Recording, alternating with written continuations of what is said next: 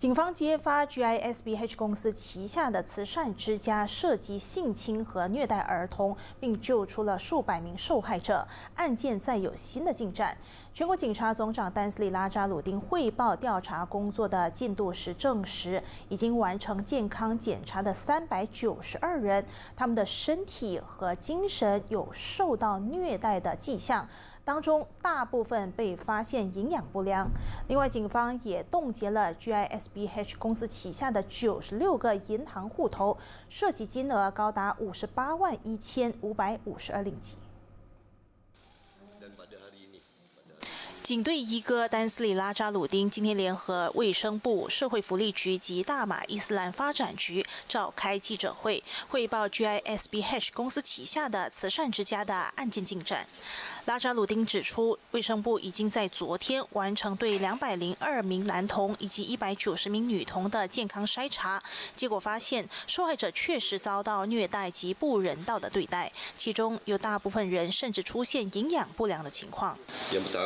Adalah penderaan fizikal dan uh, emosi yang mana kita pun dapat tahu ada viral tentang uh, dipukul, disebat, ditekan. Uh, leher dadanya yang itu pun dah viral kemarin. Kemudian satu lagi pengantunan. Uh, pengantunan ini adalah cara grooming.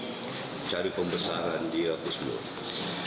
Selain juga itu adalah uh, child labor ni buruh kanak-kanak ni 除了受害者的健康，在谈到他们的福利问题时，拉扎鲁丁说，社会福利局已经就一百四十九名年龄介于一岁至十岁的受害者发出了临时监护令，并个别送往四间庇护所。而目前还在吉隆坡警察训练中心的两百四十三人，同样会分阶段送到临时监护中心。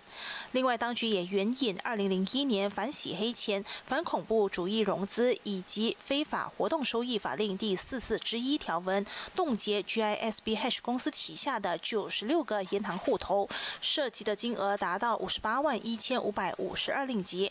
有关公司名下的八辆轿车也遭到警方扣押。至于全球行动调查行动的进展，拉扎鲁丁指出，警方已经向总检察署提成了三份调查报告，让当局决定下一步的行动。A Akta Kesalahan Seksual Terhadap Kanak-Kanak 2017 dan satu kertas siasatan di bawah Seksyen 354 Kanun Kesusahan.